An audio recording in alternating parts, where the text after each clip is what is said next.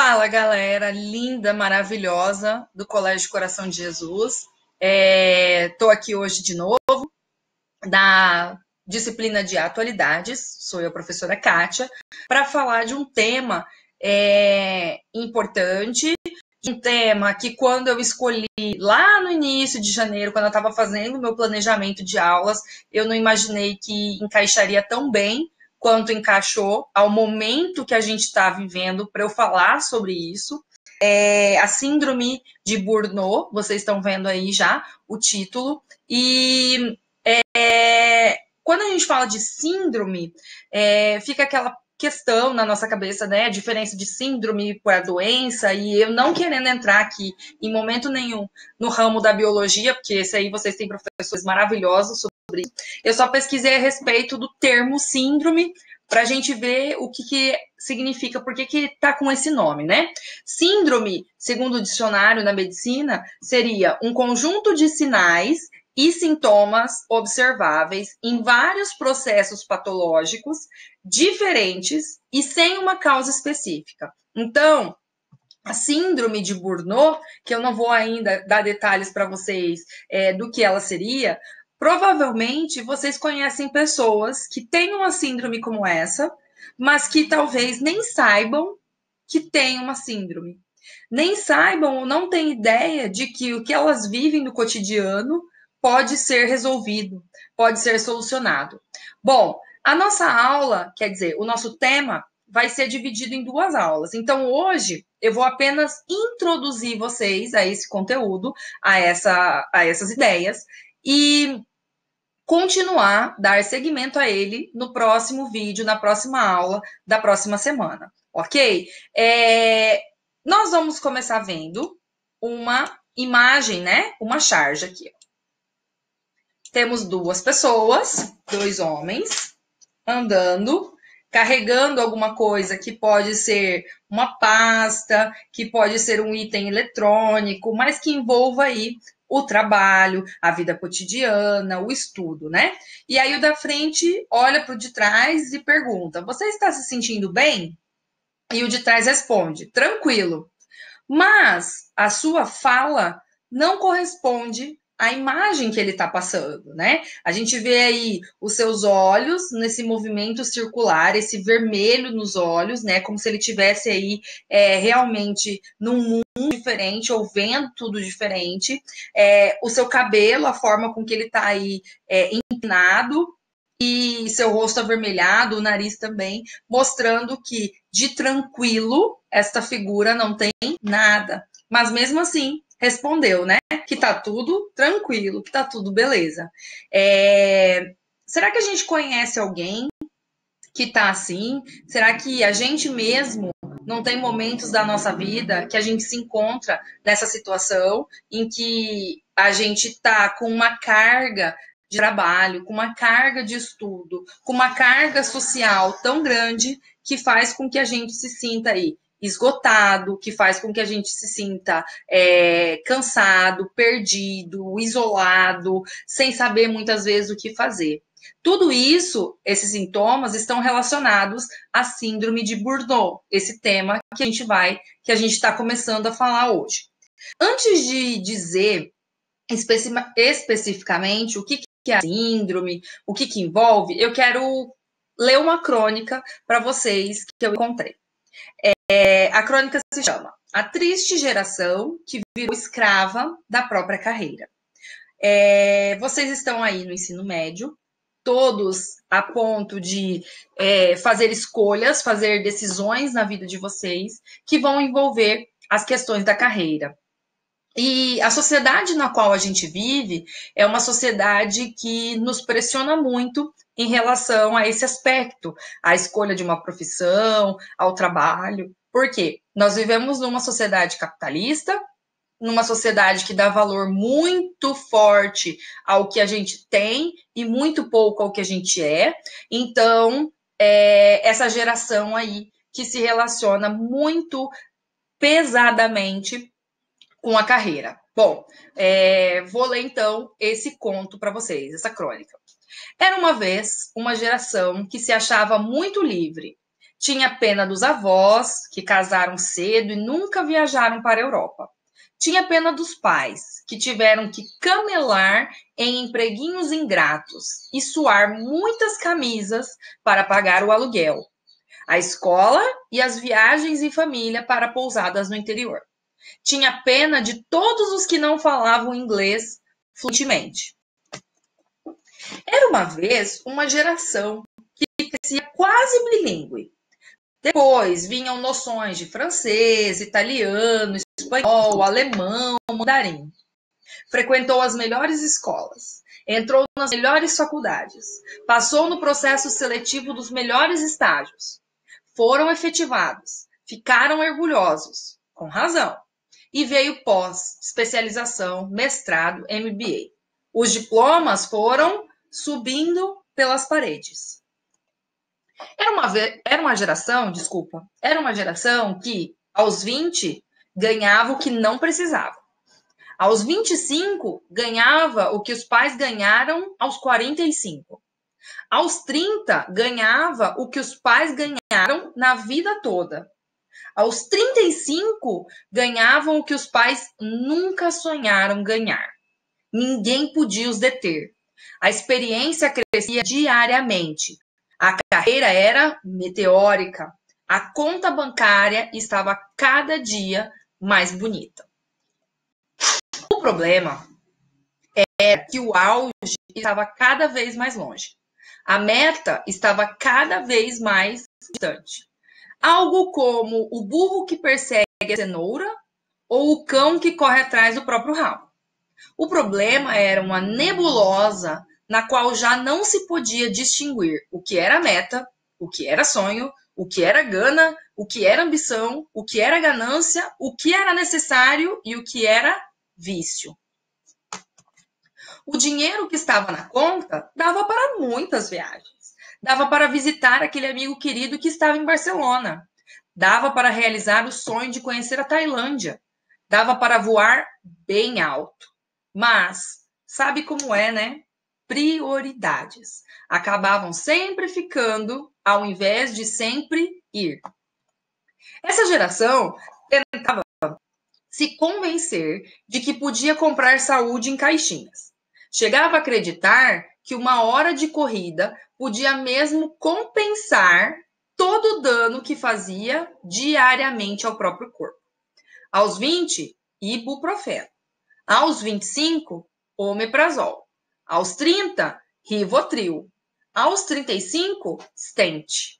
Uma estranha geração que tomava café para ficar acordada e comprimidos para dormir. Oscilavam entre o sim e o não. Você dá conta? Sim. Cumpre o prazo? Sim. Chega mais cedo? Sim. Sai mais tarde? Sim. Quer se destacar na equipe? Sim. Mas, para a vida, costumava ser não. Aos 20, eles não conseguiram estudar para as provas da faculdade, porque o estágio demandava muito. Aos 25, eles não foram morar fora, porque havia uma perspectiva muito boa de promoção na empresa. Aos 30, eles não foram no aniversário de um velho amigo, porque ficaram até as duas da manhã no escritório. Aos 35, eles não viram o filho andar pela primeira vez. Quando chegavam, ele já tinha dormido, quando saíam, ele não tinha acordado. Às vezes, choravam no carro e descuidadamente começavam a se perguntar: a vida dos pais e dos avós tinha sido mesmo tão ruim como parecia. Por um instante, chegavam a pensar que talvez uma casinha pequena, carro popular dividido entre o casal e férias em um hotel fazenda pudessem ter algum sentido. Mas não dava mais tempo, já eram escravos do câmbio automático, do vinho francês, dos resorts, das imagens, das expectativas da empresa, dos olhares curiosos dos amigos. Era uma vez uma geração que se achava muito livre. Afinal, tinha conhecimento, tinha poder, tinha os melhores cargos, tinha dinheiro. Só não tinha controle do próprio tempo. Só não via que os dias estavam passando. Só não percebia que a juventude estava escoando entre os dedos e que os bônus do final do ano não comprariam os anos de volta. É, eu tirei essa crônica é, do Estadão e recentemente, então tá lá no site ainda, é, com esse título, né? A triste geração que virou escrava da própria carreira.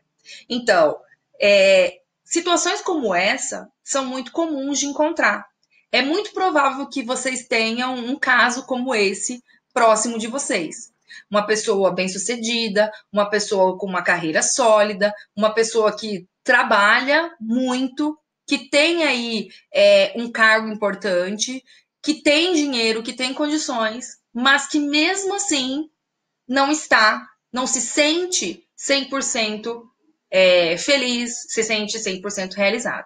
É claro que numa discussão filosófica, é, fazendo aí um quase um delírio filosófico, a gente não pode acreditar que existe uma chance ou existe a condição de vivermos 100% felizes o tempo todo. Porém, é algo que se tem que colocar numa balança, assim como a crônica termina pensando. No início, pensa-se que ai, a minha geração é muito boa, porque eu sou livre, eu posso fazer tudo o que eu quiser, eu tenho condições de alcançar tudo o que eu quero. Nossa, a geração dos meus pais, dos meus avós, eles tiveram muitas obrigações, eles não, não conseguiram fazer o que eu estou fazendo. Mas, muitas vezes, fazer tudo isso que se faz, no ritmo que se faz, acaba prejudicando não só a sua mente, mas todo o seu corpo físico. E acarreta, então, aí problemas, distúrbios, faltas psicológicas. E toda é, todo mal psicológico que a gente sente a longo prazo reflete também no nosso corpo físico.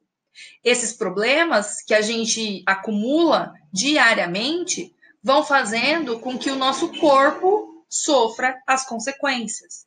Tudo que a gente faz é, dessa forma impensada, com uma meta, com um objetivo a ser alcançado, muitas vezes acaba nos prejudicando. É sobre isso que a síndrome de Burnout vai falar.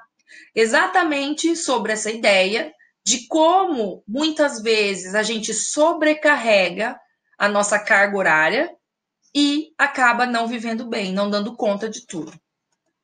O que seria então? Aqui a gente tem uma definição é um distúrbio emocional com sintomas de exaustão extrema, estresse, esgotamento físico, resultante de situações de trabalho desgastante que demandam muita competitividade ou responsabilidade. Às vezes a gente tem uma ideia aí de que somente carregar muita responsabilidade faça mal a alguém, mas também estar num ambiente extremamente competitivo pode fazer mal.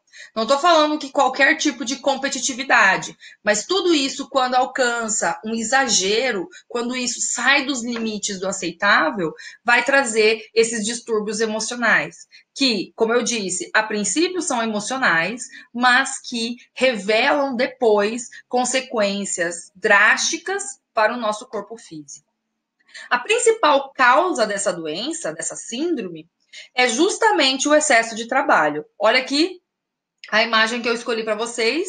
Livros, livros e mais livros, trabalhos, trabalhos, trabalhos, sempre com um tempo marcado para a gente fazer, né? A gente sempre tem as datas para entregar e a gente se vê então sufocado, é, embaixo de toda essa onda de trabalhos. E agora aconteceu, está acontecendo exatamente conosco, nesse momento em que vivemos em isolamento social, mas que não paramos. Então, a todo momento, nós, professores, estamos aí elaborando trabalhos, elaborando aulas, produzindo conteúdo para vocês, vocês recebendo, recebendo tudo isso, tendo que devolver tudo isso para nós também, sempre com o tempo marcado.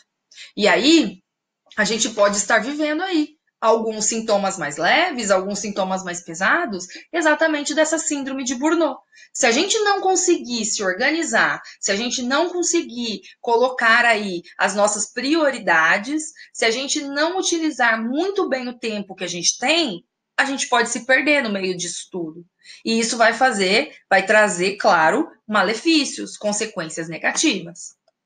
Aqui a gente tem as 10 fases da síndrome de Burnout. Interessante que começa o fósforo, né? Acende ali a luz de que alguma coisa está errada e ele vai queimar até o finalzinho ali.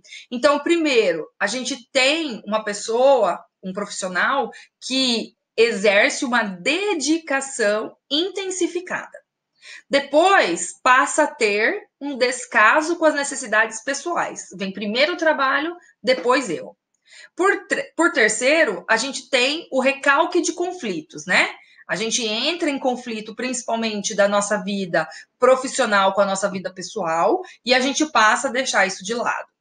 Ou sofrer muito com isso. Quarto é a reinterpretação dos valores, quando a gente percebe é, que há uma mudança nos objetivos, nas metas, nos valores que a gente tem. Talvez quando a gente começou aquela profissão, quando a gente começou aquele é, a, a, essa carga de trabalho, a gente tinha uns valores e agora isso muda. Depois a gente passa, aí o número 5, a negar alguns problemas, né? No sexto, recolhimento e aversão a reuniões. Então a gente já começa a se isolar, não quer mais participar de tudo. Sétimo, uma despersonalização. Você faz parte tão fortemente daquele ambiente profissional que você passa a perder as suas características individuais. Isso tudo pode trazer, no número 8, ó, uma tristeza intensa. E nove, o colapso físico e mental. Então, o processo vai caminhando e se agravando até que chega na décima fase e a gente está então em estado de emergência. Olha só como esse foguinho vai queimando o fósforo, queimando a nossa lenha e fazendo com que a gente se modifique e fique como estava o rapazinho lá da primeira charge que eu mostrei para vocês.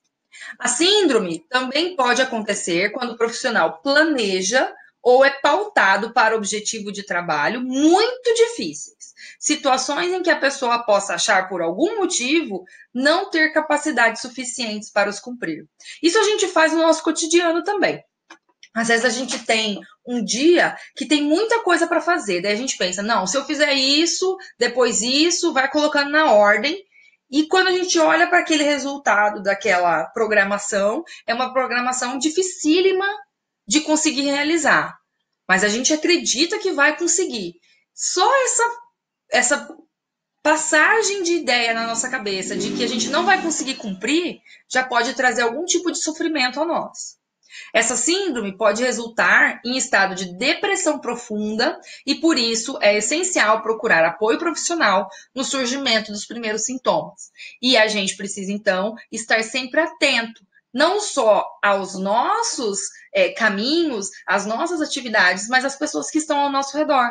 Porque muitas vezes a própria pessoa, o próprio indivíduo, ela não percebe que está trilhando este caminho. Precisa de alguém nas suas proximidades para falar isso, alguém da família, alguém dos amigos. E sim, tem tratamento, é algo que pode ser é, modificado, tanto não só na parte prática, mas na parte emocional. Quem sabe aprender a lidar melhor com tudo isso, aprender a lidar melhor com pressão, com prazo, é, com dificuldades, com problemas. Às vezes é uma mudança de pensamento, não uma mudança da prática. Às vezes vai requerer uma mudança da prática, mas às vezes a simples mudança de pensamento auxilia já nesse processo. Bom, como eu disse para vocês, esse tema é, vai ser dividido em duas aulas, até porque o coordenador de vocês é, pediu isso para nós, né? Que a gente diminuísse um pouquinho o ritmo para depois a gente acelerar de novo. Então, para a próxima aula, que eu vou continuar falando sobre esse tema, eu quero que vocês busquem mais informações sobre essa síndrome e preparem já em tópicos o que você vai escrever no seu texto. Porque, como é do nosso costume, ao final desse conteúdo, vocês vão escrever um texto. Esse texto, então, eu quero para essa próxima semana que vocês pensem sobre ele, que vocês procurem informações e já preparem uma estrutura em tópicos do que, que vai conter o texto de vocês, ok? Pessoal, é muito bom estar aqui, mesmo à distância com vocês. Espero que estejam se cuidando, não deixem de estudar e a gente se encontra. Tchau, tchau!